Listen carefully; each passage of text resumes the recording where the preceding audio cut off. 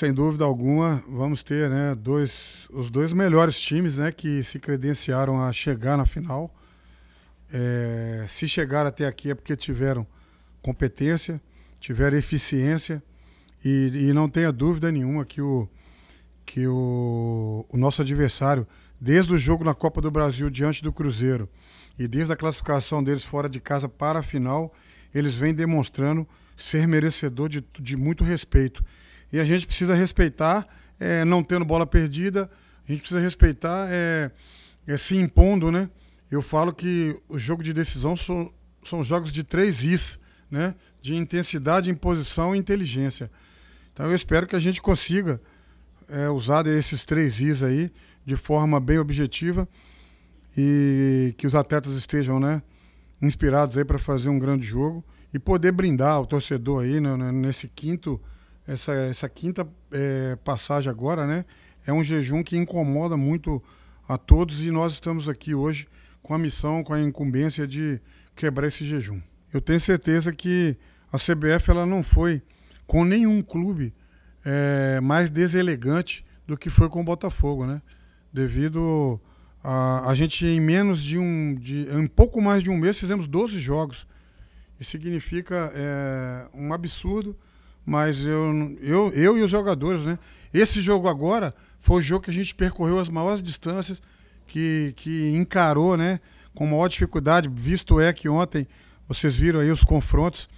Quem foi visitar ontem acabou é, tomando resultados assim é, acachapantes. E a gente foi lá, encarou, fomos para os pênaltis e foi pelo detalhe. Então isso aí mostra a, a, qualidade do elenco, a capacidade dos jogadores, o tanto que eles estão imbuídos aí em, em fazer um, um ótimo trabalho para o Botafogo e pelo Botafogo. Então, eu não coloco isso. A gente foi inteligente também demais na, na questão das mudanças, né? A gente tem aí o Rodrigo. A gente tirou jogador lá que não precisava tirar, mas tinha que tirar por causa desse jogo também. Então é, é você. Isso aí é, é o tempo de, que a gente tem no futebol é uma união, fusão da, da, da comissão técnica, né? Também com os atletas dialogando muito.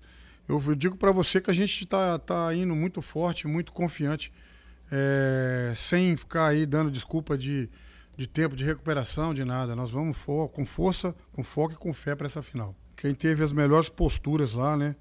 Uma das melhores posturas lá dentro foi, foi o Botafogo, porque o time deles realmente já vem se constituindo num, num fator campo muito forte aqui já de muito tempo. A gente não sucumbiu a isso, a gente encarou mesmo, tivemos chances claras e evidentes de gols lá. Fomos para lá para sair com resultado positivo, não foi possível, mérito deles. E agora, agora é, é, eles é que tem que se preocupar, né, muito em conter o ímpeto da nossa equipe e também conter o ímpeto do nosso torcedor, que eu tenho certeza, como eu falei, né, os jogadores estão esperando aí é, a gente não, eu tenho certeza que a gente não vai se decepcionar. Nós estamos esperando aí na casa dos 15 mil, do, ou se não for possível os 15, que seja na, na lotação máxima aí do estádio aí, para que a gente tenha o 12 segundo jogador realmente, verdadeiramente do nosso lado, nos momentos difíceis da partida. Vai ter que ter paciência, porque o time deles é um time que já provou que sabe se defender muito bem, certo? Então, ter paciência, mas ter esperança e ter confiança que o produto final que importa e a gente espera aí poder blindar o torcedor nosso aí no término da partida com esse título aí que já está né, mais do que esperado por todos. Todos sabem que o futebol é o seguinte, o que que, o que, que você faz para furar uma defesa blocada muito as linhas, né, baixas e fechadas?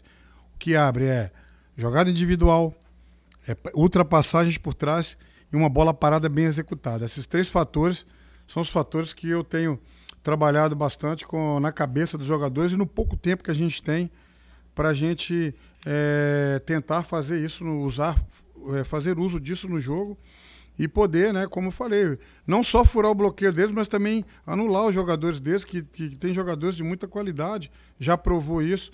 E, e a gente falou, estão na, estamos na final aí, chegamos agora com sete jogos de invencibilidade, né? um começo não tão bom, turbulento, porque toda mudança gera né, é, um desconforto, mas agora já foi provado nos sete jogos de invencibilidade que existe uma fusão de ideias, existe uma, né? E eu espero que a gente consiga aí não só nos mantermos invictos, mas também é, conseguir furar qualquer tipo de, de dificuldade e sair de lá campeão, que é o, é o sonho, é o objetivo de todos aqui, mas, mas também com, com a euforia contida, sabendo que vamos ter um grande adversário pela frente e só vamos conseguir superá-lo se a gente tiver mais vontade, tiver mais eficiência, e é aí para isso que a gente está trabalhando. Eu falei, é um grupo cumpridor de metas, e agora vem a meta mais importante, vem o que todos aqui desejam.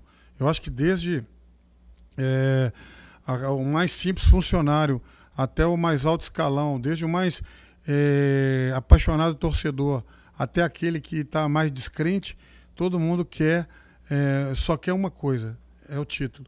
Então, como eu falo para os jogadores, às vezes é, uns, uns 11, 11 amam o treinador, uns 5, 6 ali gostam e os outros odeiam naquele momento ali, né? Mas todo mundo quer vencer, todo mundo quer os três pontos. Então a gente vai em busca disso, tendo como base o que você falou aí. O pouco tempo que a gente fez, a gente trabalhou esses aspectos, né? Mas eu queria enfatizar isso, né? Enfatizar que um grupo que, que já merece muito respeito, um grupo que já deu dignidade ao clube na Copa do Nordeste e a gente também, né? Eu particularmente fico feliz por estar invicto. Na... A gente saiu da Copa do Nordeste invicto, né? Eu não, não perdi nenhum jogo. A gente perdeu nos pênaltis agora, na decisão do pênalti. Mas a gente foram pô, jogos assim fantásticos e jogos contra Fortaleza, contra Bahia, contra Camisas. Né? O CRB hoje joga o melhor futebol do Nordeste. Nos últimos três meses, o melhor futebol jogado é do CRB. E ele foi lá e a gente foi lá e encarou eles. E não digo que é o melhor, tá? Porque tem clubes aí como Bahia, o Esporte, eh, Ceará, Fortaleza, mas o melhor futebol jogado no primeiro semestre. E os números não mentem. O CRB, inclusive, vai encarar muito forte esse Bahia aí.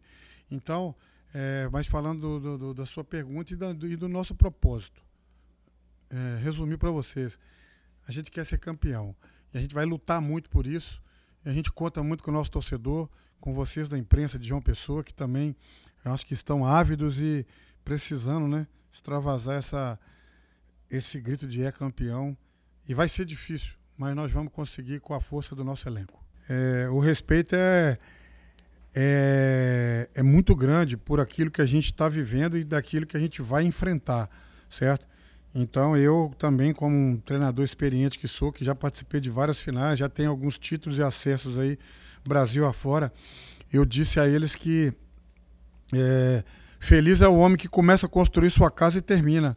A gente começou a construir coisas muito boas e positivas aqui. E agora, dentro do objetivo principal, e eu não, eu não, em momento nenhum eu disse que a Copa do Nordeste não seria um objetivo, mas o principal, existe uma coisa que é o foco. Quando você tem muito foco numa coisa, você quer demais e, e você tem equilíbrio naquilo, aquilo gera energia para você conquistar. E eu acredito que eu tenho passado muito para eles isso, que nesse foco do título, tenha equilíbrio, mas tenha, mas queira mais do que o adversário, corra mais do que ele, se entregue mais, se dedique mais e tendo esse torcedor aí do nosso lado, a tendência é que a gente consiga. Mas vamos é, aguardar os preparativos finais, né? Temos mais, mais aí dois treinos pela frente. Vamos buscar passar confiança ainda mais para os atletas e esperamos sim ver, né, o Almeidão aí de uma forma muito preta e branca, maravilhosa aí, e que a gente consiga brindar a todos aí com esse título que eu acho que seria muito merecido por tudo que os atletas até aqui demonstraram. Se você entra aqui hoje, você já sente uma, uma áurea diferente, sente um clima, e os funcionários, então, eles estão aí praticamente me pegando ali pelo colarinho, vai me dar esse título, né? Então nós vamos brigar, lutar e, e com fé em Deus a gente vai conquistar.